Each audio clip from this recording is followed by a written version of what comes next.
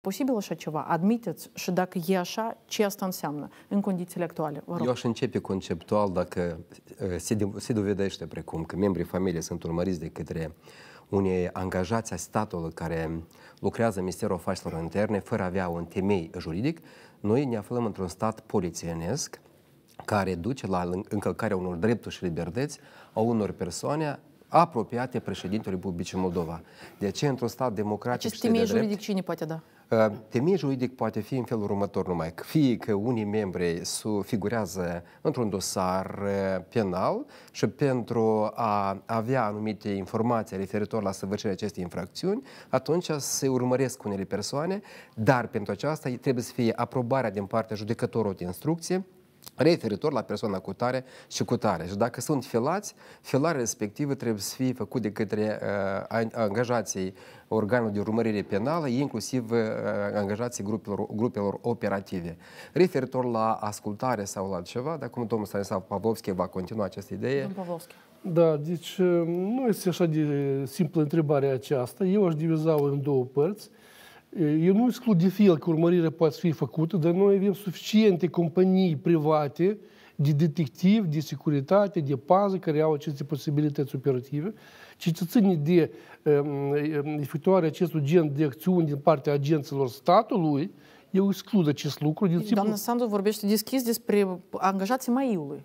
Da, să, să termin gândul. Deci, aplicarea măsurilor operative sau măsurilor speciale de investigație se fac în bază dosarelor operative. Fiecare dosar operativ este de evidență strictă, este un dosar strict confidențial. Deci, orice document care ne merge în dosar operativ este strict confidențial. Sunt două categorii de, măs- de, de măsuri care se aplică cu autorizarea judecătorului de instrucție sau cu autorizarea procurorului, independența de gravitate. Deci ascultarea canalelor telefonice se face de către SIS, deci organele, ofițeri, ofițeri de urmărire penală, procurori, în cazul în care apare această necesitate, ei primesc um, încheierea judecătorului privind interceptarea convorbirilor, dar executarea este pusă pe sar, în sarcină SIS-ului.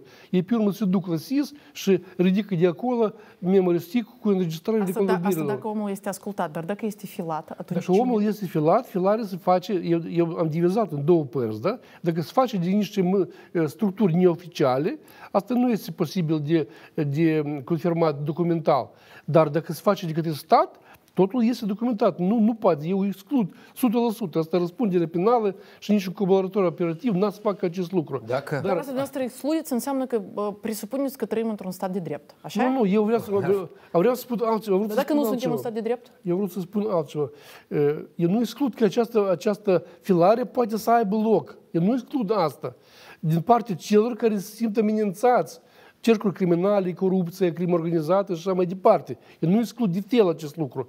Eu exclud că acest lucru ar putea fi făcut de către agenții statului, fără că să existe un dosar de prelucrare operativă, cum se numește el, sau fără că să fie dosar penal. Eu exclud categoric asta, nu este posibil. Domnul Pavlovski, pentru a exclude că sunt implicați aici agenții statului în filarea membrilor familiei președintelui Republicii Moldova, se face simplu un demers prin da. care se solicită informația în perioada cu tare și cu tare, membrii familiei mele au fost filați, dacă au fost filați în baza căror uh, acțiuni procedurale și dacă au fost ascultați, atunci în baza căror uh, uh, încheieri a judecătorului de instrucție. Și dacă se primește acest răspuns oficial, noi ajungem la concluzia că agenții statului au fost implicați în filarea... Uh, așa se face. A doilea moment... Să mă scuzați, dar eu ți minte, după 2019, când Plahotniuc a făcut din țară, au apărut mai multe informații în presă, vă aduceți aminte, inclusiv și făcea investigația RISE despre da, interceptările membrilor societății civile, jurnaliștilor și așa mai departe.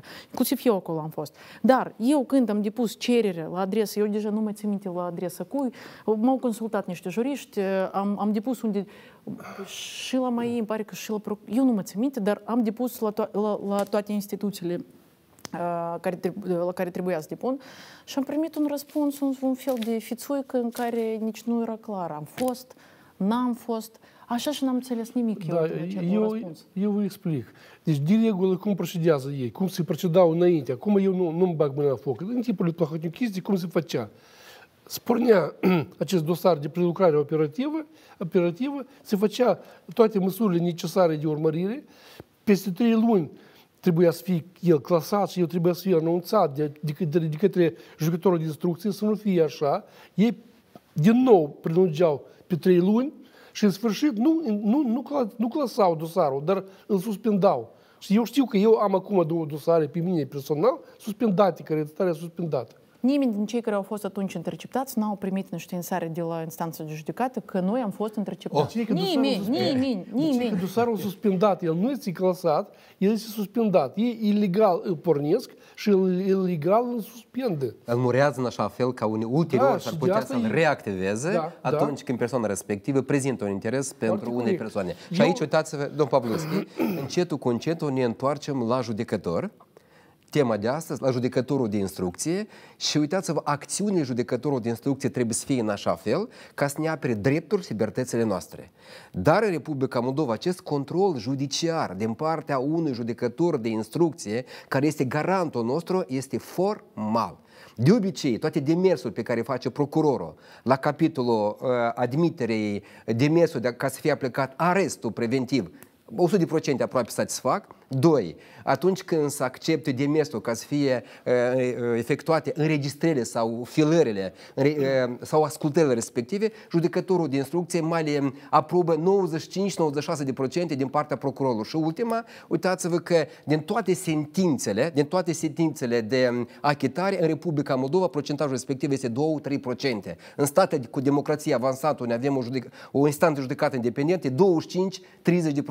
Și fel de stat, noi avem și ce putere judecătorească noi avem. Dacă deja am ajuns să discutăm